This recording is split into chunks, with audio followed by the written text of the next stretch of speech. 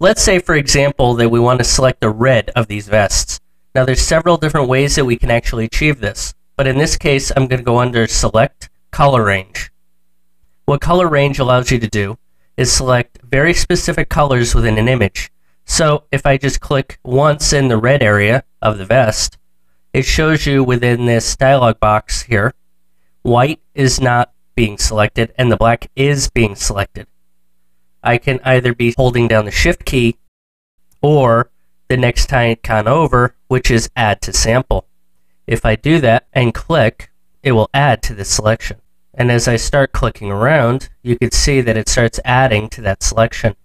In order to get a better idea of what you're actually looking at, you can select one of these other selection previews. You can go with grayscale, black matte, white matte, or quick mask. Generally, quick mask is the best way to do this. Now, the fact that it's selecting the color red is arbitrary. It could be whatever color we actually selected within the quick mask tool. So once again, if we click the green of the tree, it's going to select the general color that I selected. If I hold down the shift key, it's going to continue to grab parts of green within the image. This is a very quick way of actually grabbing individual colors if you don't want to take the time to mask something out. Or in the case of the green, it's very intricate and you don't actually want to go through the motions of making that complex selection. So, for example, if we click OK, now it made a selection of just the green. And one thing I want to point out to you is that this is actually not the selection of the green. If you see how there's this selection around the outside border, what it's actually saying is everything except that green is selected. It's one of those idiosyncrasies about Photoshop about which uh, color is actually selected. In this case, we just want to select inverse. It'll flip it around so that you don't see those selection out here, which means that the selection will be in here where the green is. So just for the sake of argument, let's click on hue saturation and we bump up the saturation. As you can see, I'm grabbing just the greens. If you can picture it, using the color range tool is a very quick and easy way to make selections with an image. I'm going to throw this layer away and I'm going to do it again with color range. This time I'm going to go through the red and I'm going to hold down the shift key and I'm going to start grabbing pieces of the red. Now notice it's going to start grabbing outside pieces around the outside. It does this often and that's okay. All we're trying to do is give ourselves a quick general selection and we'll clean it up within the quick mask window after the fact. One thing I want to show you is with this uh, dialog box here, we have this fuzziness, and if we increase it, it's going to expand and grow and grab more similar colors to the ones that we've already manually selected. And if we drop it down lower, it's going to grab less colors.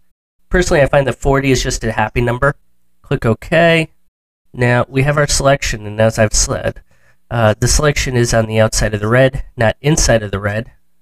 So that's actually coming from this dialog box right here invert or not invert. Now sometimes it's just easier to see what you're doing to have that selected. That's all it is as far as the selection difference. But once I come out, it's just as easy to go invert and now just are the reds are selected. And you can see that by going into quick mask mode. Now remember, everything red is being masked out. Everything that we can see is what's coming through. However, I find this very hard to work. So once again, we'll go inverse using the quick key, which is just coming up here, Control Shift I. So again, just to make the selection, I'm going to go to the brush and make it larger, and I'm going to start pulling away areas that I don't want. Now, this is just the exact same thing as working with the quick mask, because we are within the quick mask, and all I'm doing is grabbing just quick general areas of this that I don't want. Now, after this general example, I'm not going to go into any great detail, but this shows you how it works.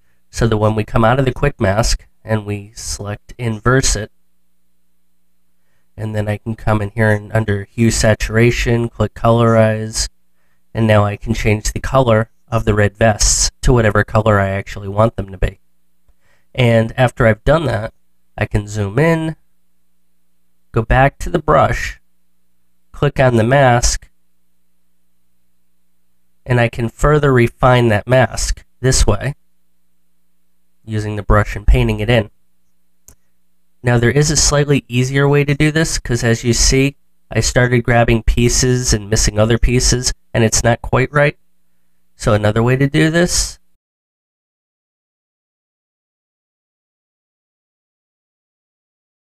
Selecting the colors that we want with color range, go OK, select inverse so that we have the right thing selected, select modify, expand, and I'm going to expand this selection by two pixels.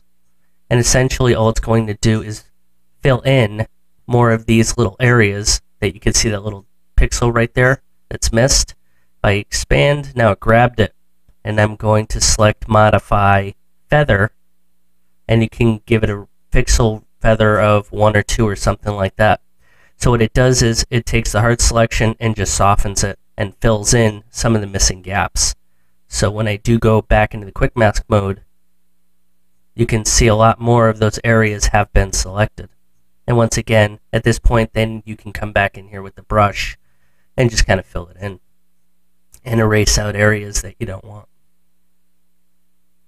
Now keep in mind that when you are using this tool, it's best to use on loose selections and not necessarily tight selections that you plan on having intricate masking on. This is really just kind of used for something that is bigger, wider, or mo- more complex of a selection than you're actually willing to put the time into. And if you take your time a little bit and you do it right, you can get a pretty good selection out of this. And it doesn't have to be something that looks bad.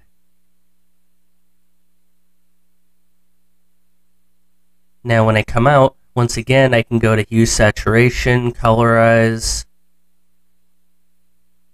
and change the color once again, just as an example. And like I did before, I can select that mask and start filling in some of the areas that were missed.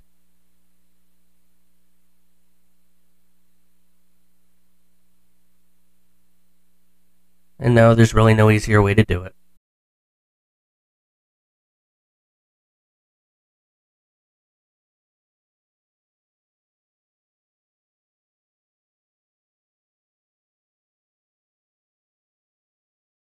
It's not perfect, and it's just a way to give yourself a little shortcut. When used properly, it actually does a pretty decent job.